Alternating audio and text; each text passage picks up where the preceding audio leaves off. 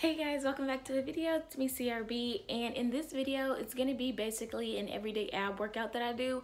Um, I just wanted to come on here and go ahead and say that no, I am not a fitness expert or a fitness trainer. This is just what works for me and I just wanted to share it with you guys just in case it may work for someone else. So without further ado, let's hit the gym. When I first start my workout, I like to start off with a good stretch. So I usually just get into a straddle position and go to my left side, my right side, down the middle, and I just stretch everything out. I then get into a pike position and I point my toes and reach forward. I also flex my toes and I reach forward. And then I move on to the next stretch.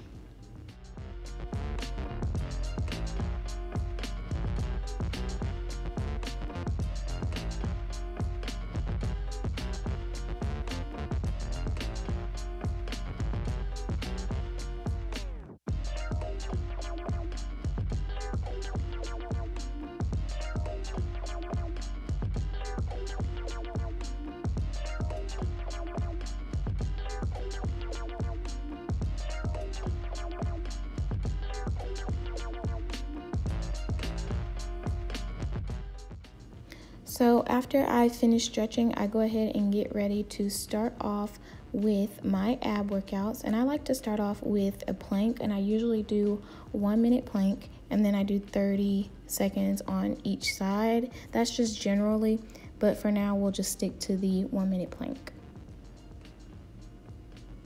30 seconds on each side. Today we'll just start off with 10 hip dips on each side.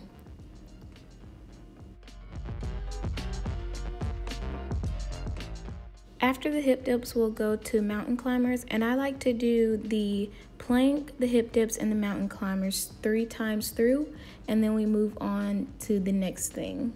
Next, we're going to start with Russian twists, and I'm going to do 10, so I'm going to do one on each side, two on each side, three on each side, and I'm going to do that 10 times. After the Russian twist, I'm going to do an ab workout called suitcases, and I do this 10 times as well.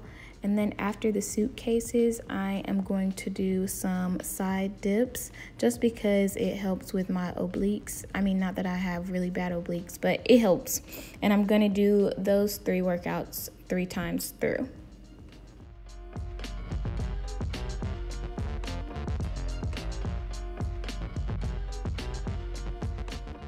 So the last two workouts I'm going to do I'm going to do three times through as well.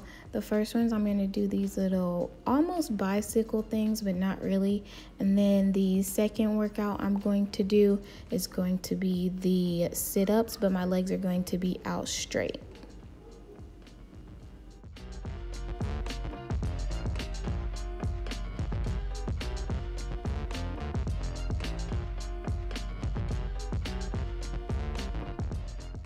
So usually after my workout, I like to end with some kind of video that I'm following along with. And today's video I chose was yoga.